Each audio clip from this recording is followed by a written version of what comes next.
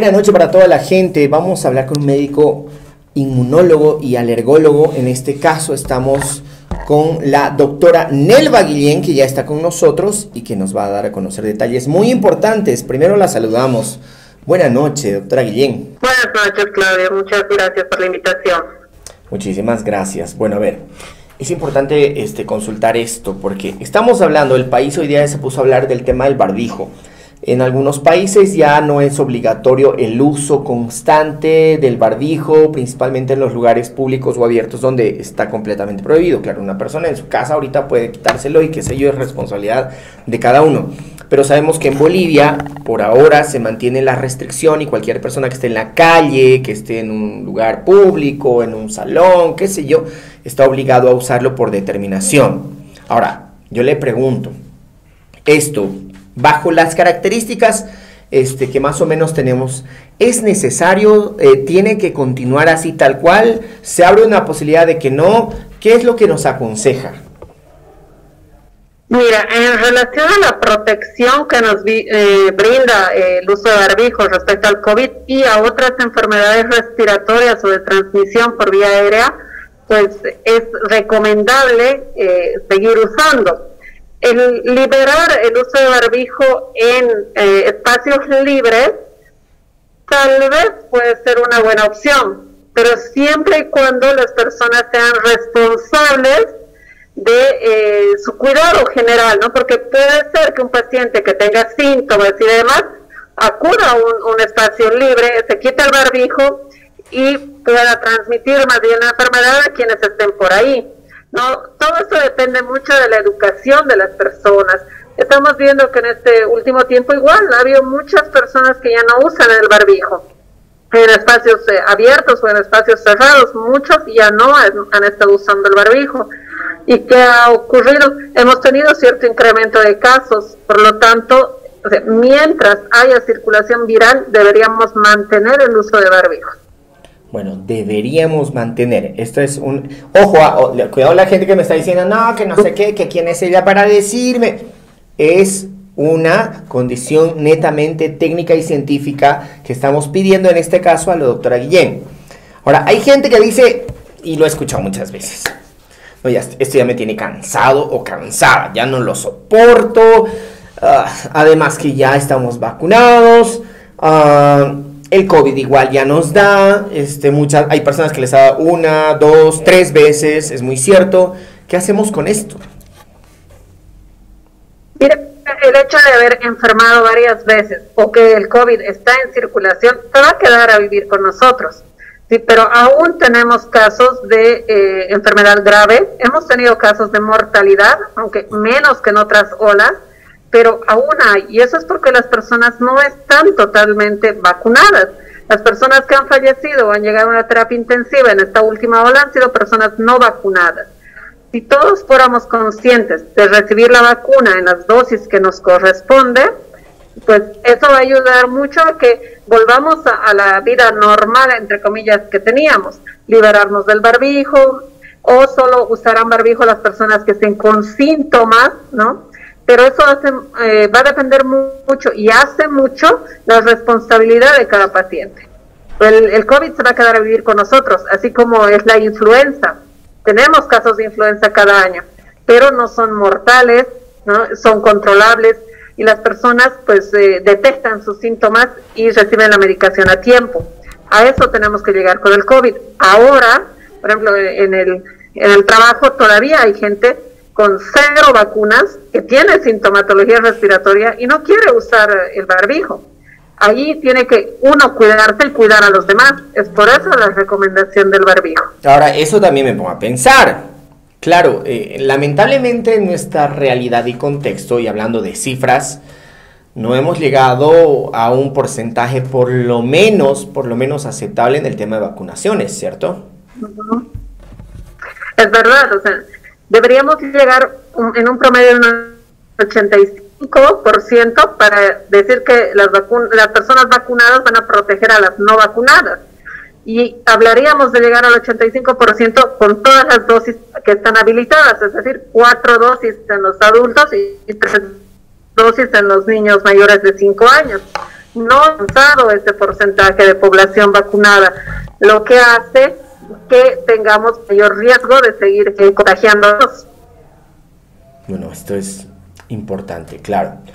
Eh, ahora, recordemos y le digo a toda la gente que nos está viendo, el Consejo Nacional de Salud, en este caso de emergencia relacionado a todo lo que está pasando con el COVID, es el que se reúne para ver que eh, se levante el uso del barbijo en los espacios abiertos, que no se levante, que se quede, qué sé yo. Eh, ahora, por favor, doctora, algo que... No te escucho. No, no se preocupe, le digo, le digo ahora. Algo que nos parece muy importante. La gente eh, sale a la, a la calle, eh, con el barbijo, eh, tiene todas las medidas de bioseguridad, este, bueno, decide tomarlas en cuenta. En Cochabamba hay una gran cantidad de gente que sí usa barbijo, principalmente aquí en la ciudad. Entonces, pero igual de todas maneras a veces se encuentran en el en la casa de diferentes lugares, vienen y todos se sacan el barbijo y a veces alguien no lo usó, qué sé yo. Entonces, igual de todas maneras estamos en un constante ahí como que riesgo o no. Sí, es por eso que eh, en las familias uno enfermaba y automáticamente toda la familia enfermaba, porque dentro de las casas no tenemos ese cuidado, recibimos visitas, no sabemos si la visita ha estado en contacto con positivo. Entonces, esto hace que pues la, la persona sea consciente de cuidarse y cuidar a los demás. Nuevamente te digo eso porque va a ser la base de, de nuestro pues cotidiano vivir porque si yo sé que está en contacto con un paciente sospechoso o un paciente positivo y voy a ir de visita, es mi responsabilidad no sacarme el barbijo o prácticamente no ir de visita. Por eso es que en la última ola han sido familias enteras las que han enfermado. Y todo esto eh, está en base a la educación de cada persona. Ahora, entonces, recomendable eh, el uso del barbijo. Ahí nos quedamos en claro. Recomendable el uso del barbijo. Ahora, recomendable seguir usando, por ejemplo, yo la estoy viendo en este momento y claro, está en atención de pacientes. La veo con un KN por dentro y estos que son más sencillos por encima. ¿Algo así tenemos que hacer también en las calles o estamos bien con uno? Con uno eh, sirve si estás en un espacio abierto porque eh, acuérdate que la transmisión es cuando estás en contacto directo con las personas, ¿no? A menos de un metro y medio de, distancia, o cuando la, persona está expulsando las gotitas de flujo al hablar, al estornudar, al toser. Ahora, nosotros sí, cuando estamos en atención de paciente, sí, andamos totalmente cubiertos, ¿no? Porque estamos en contacto directo. Ya fuera, cuando yo tengo una mayor ventilación y demás, es suficiente una un solo barbijo, ¿no? Eso es suficiente.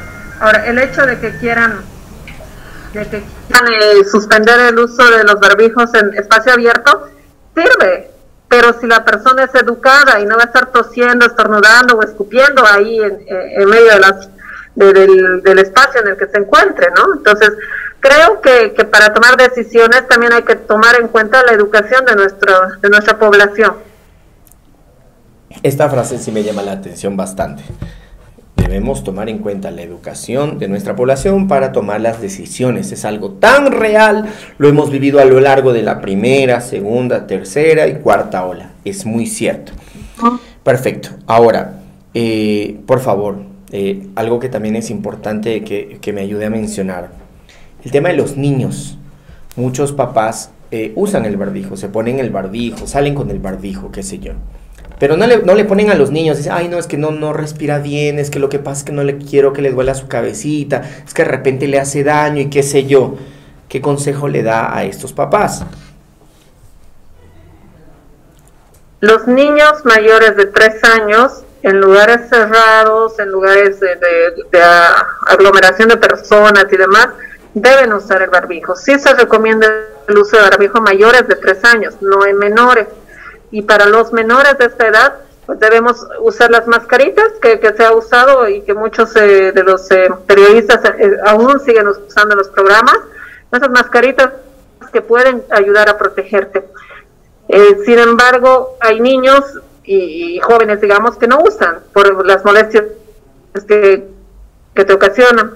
Pero para poder permitirnos que el niño no use, ese niño no tiene que estar en lugares de, de, mucha gente, no debe, eh, digamos, dejar de lado el lavado de manos y, todas las otras recomendaciones que se han dado y deben ser niños vacunados, todos aquellos mayores de 5 años para los niños menores de 5 años que todavía no está habilitada la vacuna, somos los adultos los que vamos a protegerlos. Entonces el adulto debe recibir su vacuna para proteger a su niño menor de 5 años. Excelente. Bueno, quiero agradecerle, doctora, por estar con nosotros. Disculpe la molestia, muchas gracias por acceder a la entrevista. Buenas noches. Gracias, Claudia, y buenas noches. Buenas noches. Bueno, hemos hablado con la doctora Nelva Guillén. Ella es este, especialista, además de inmunóloga, alergóloga el tema de las alergias, de, de, todos estos tipos de males y sus tratamientos. Gracias a la gente que está con nosotros, a todos los que están conectados. Un saludo especial para ustedes, sin lugar a duda, pues en el marco de todo lo que hacen con nosotros. Gracias. Campaña de diagnóstico gratuito en Toyosa todos los sábados de agosto. Ven con tu vehículo y revisa en nuestro nuevo taller de la calle Zenón Salinas, Guillermo Vizcarra número 15, a una cuadra al norte de la avenida Uyuni. Aproveche el diagnóstico sin costo que incluye el lavado gratuito. Servicio técnico Toyosa, cuidando tu Toyota y tu seguridad. Gracias a Tito Style por encargarse de mi imagen personal. Salones Centro Norte, Sur de la ciudad tienen todas las medidas de bioseguridad. La gobernación de Cochabamba trabaja por el desarrollo del departamento. Salud, de reactivación económica, productiva, medio ambiente y desarrollo humano forman parte de los pilares de gestión. Gobernación de Cochabamba, unir, trabajar, crecer. La elección de una carrera es algo muy importante, es por eso que UNITEP ofrece ingenierías, en este caso de sonido, biomédica, sistemas y también electrónica. Línea gratuita 810-2627, WhatsApp 722-2828-3 o el portal www.unitep.edu.bo. Gracias, buenas noches. ¿Por qué es tan importante vacunarse contra el COVID-19? Pues las vacunas son la clave para acabar con la pandemia y volver a las cosas que disfrutamos junto a las personas que queremos. Por ello, si queremos cuidarnos y cuidar a los demás, es fundamental vacunarse. Las vacunas están disponibles, son seguras, confiables y efectivas. Y recuerda, incluso si ya estamos vacunados, debemos mantener todas las medidas de bioseguridad. Cuidémonos entre todos y derrotemos al virus. Gobernación de Cochabamba. Unir, trabajar y crecer. Admisiones abiertas, gestión 2022. UNITE, Universidad Técnica Privada Cosmos. Escúchenme mis amigos, la universidad es el camino. Estudiemos todos unidos, tú no estás solo, estás conmigo. Tú estás aquí porque formas parte de nuestra historia. Bienvenido.